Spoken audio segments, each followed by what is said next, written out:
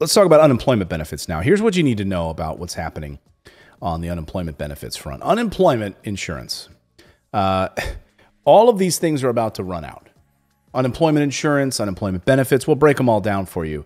Uh, but this is not good. I mean, we have uh, the unemployment benefits will end today, and uh, for millions of Americans, um, it, it really, really a sad moment. And I, I haven't seen the mainstream media really talking about this at all. Yeah, but it's only ending for these lazy people that don't want to get jobs. So exactly. So you know who cares? That's the narrative, right? It's just lazy people. It's just lazy, lazy people, people, lazy people that don't want to go work their asses off for you know seven dollars an hour and not even be able to pay their bills. I mean, if I was in a system where I had a choice of going and working for seven dollars an hour and not even be able to get ahead, or or take government benefits, I'd t- I'd milk that system. Yeah, because you know what, Congress can't Congress can't raise the minimum wage. So seven twenty five in twenty twenty one is minimum wage. Yeah, maybe it's time. I mean, it should be like thirty dollars. We're, we're arguing about fifteen dollars. You're still arguing about a, a, a non livable wage in a lot of places. Fifteen dollars is a minimal minimal is a minimum. Uh, excuse me, a livable wage in rural Kansas. Maybe. yeah, maybe not now with inflation. Yeah. I saw someone in our chat just a few minutes ago said they worked uh, 90 plus hours last week. Belinda, I believe. 90 hours. Unemployment insurance of $300 a week will end for more than 7 million Americans today, which brings economic uncertainty and a huge, you know, amid this like resurgence of COVID 19.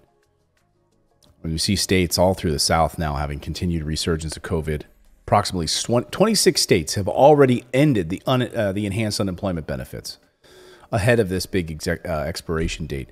Some governors saying that these unemployment benefits are a disincentive for Americans to return to work, even though, as I've pointed out multiple times, and I'm happy to do it again if I need to,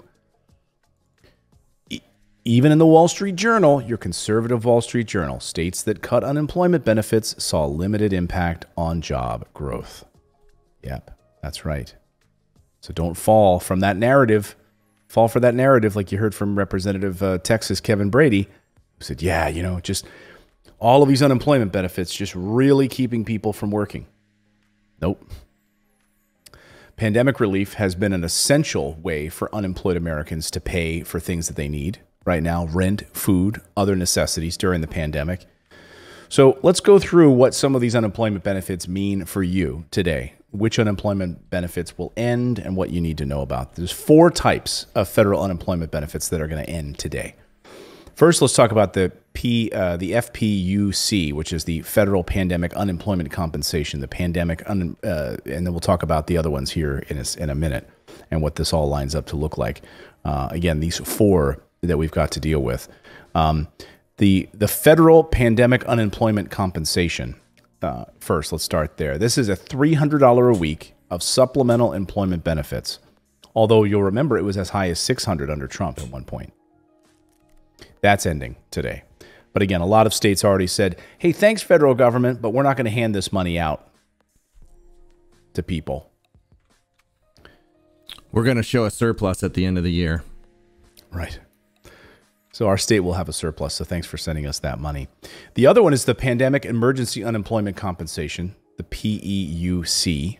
These unemployment benefits provided financial relief to those who already exhausted their state benefits, which is typically 26 weeks.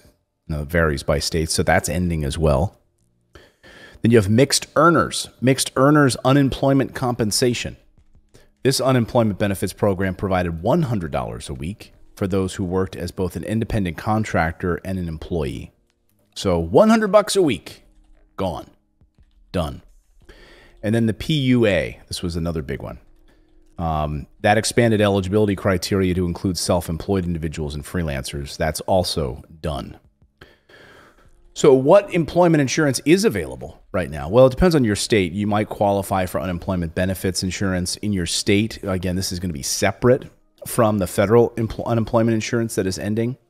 Um, and then you're also looking at, I mean, here's how the numbers break down how many people are actually losing unemployment insurance. Right now, You have uh, 7.5 million will lose unemployment benefits, um, in according to the Century Foundation estimates. Pandemic unemployment assistance is 4.2 million people. Okay. Uh, 3.3 million people will be uh, without the pandemic emergency unemployment compensation benefits. So that's what? That's 7 million, 4 million, 3 million so far.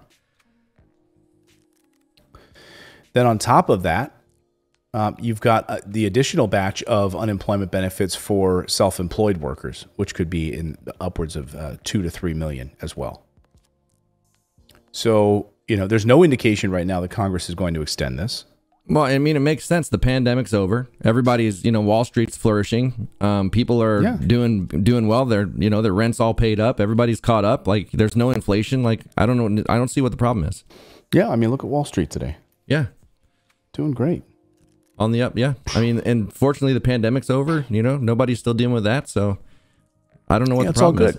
End it. Yeah, everything's everything's done. You don't have to worry about this stuff anymore, man. All good. You know. So they're cutting these all off. So how many people right now? I mean, how many people right now are, are, are relying on these unemployment benefits? Let's remember that these unemployment benefits you know, are meant to help those people who, for instance, didn't have access to daycare for their children. The schools are closed, so they they have a, they don't have the choice. And what do they do? They have to stay home to take care of their children, right?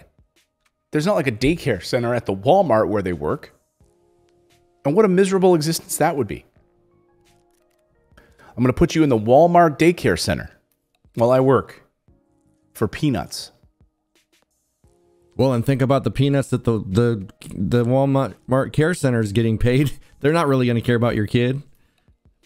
Yeah, and the Walmart, as we just pointed out from the from the story a few minutes ago, Walmart, you know, with 75 offshore tax haven locations, billions of dollars in profits that they don't pay taxes on, and they're worried about increasing uh, being you know, being taxed more so that we can pay for things like daycare, childcare, elder care, uh, better benefits uh, around, uh, you know, lowering prescription drug costs, etc.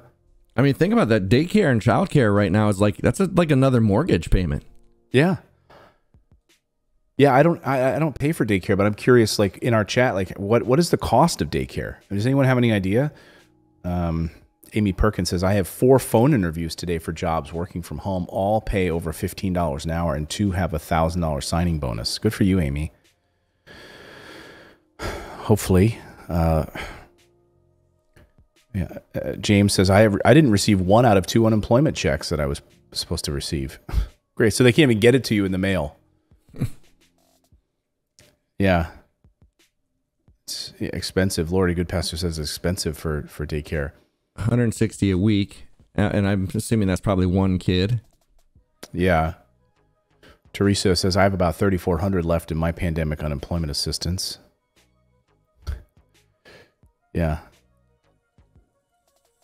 Yeah, it's amazing. Teresa says, yeah, daycare has always been way too much for a regular working person. Yeah, sadly, you know, it, it's it's interesting. Daycare ends up being affordable for those people who make like really good money, right? And those people then are a lot of times they're not even working. You know, it's like they like they work at home, but they're just like, oh, we're putting our kids in daycare so I can just enjoy my my home life. Not even have to, you know, they're not even at an office. Judith Schultz said two children in daycare equals $800 a month for her. Dean Thomas says, I did a report on childcare and this is $24,000 a year. Wow.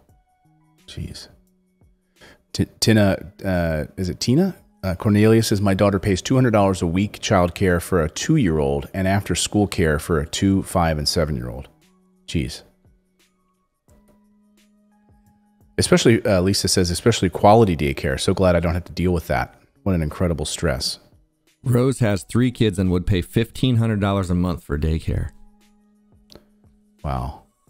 Dean says, 30 years ago, I was paying $500 a week for two kids.